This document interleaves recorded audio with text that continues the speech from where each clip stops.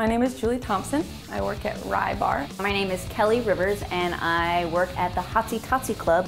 First round, Keli Rivers. I am paired with Julie. Everything that you could possibly have done, Keli's probably done better. It is very nerve wracking to go against somebody you actually admire. San Francisco, one more time. Are you ready? Here we go. Five, four, three, two, one, go! I broke a bottle of Cointreau in my rail and onto my bar back behind me. Complete mind blank, even down to the margarita. Uh, didn't even know how to do it.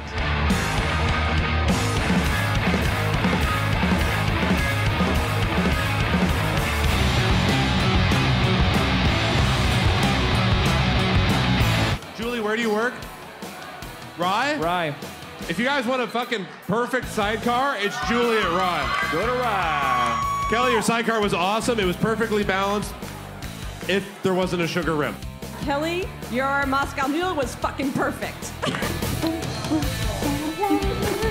Julie, the bitters actually overpowered the ginger beer just ever so much, which I think is a little bit hard to do, so I'm just gonna take off five for that.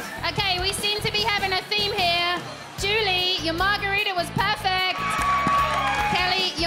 margarita was almost perfect. It was just a little bit too tart. And everyone knows when you go to Tommy's, you can't have one, you end up having 10. And this one was just a little too tart, so I'm going to give you five. Keli, thank you very much. I enjoyed your Presidente immensely. Probably the only change I would make is you forgot to garnish it with the orange zest. Julie, I believe you made your Presidente with Blanco tequila, uh, which, while delicious, uh, it's traditionally a rum drink.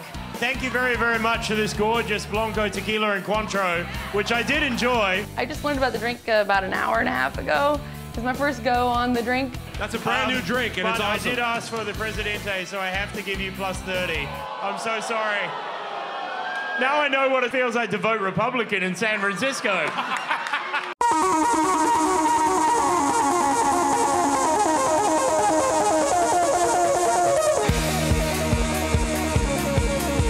get the garnish right.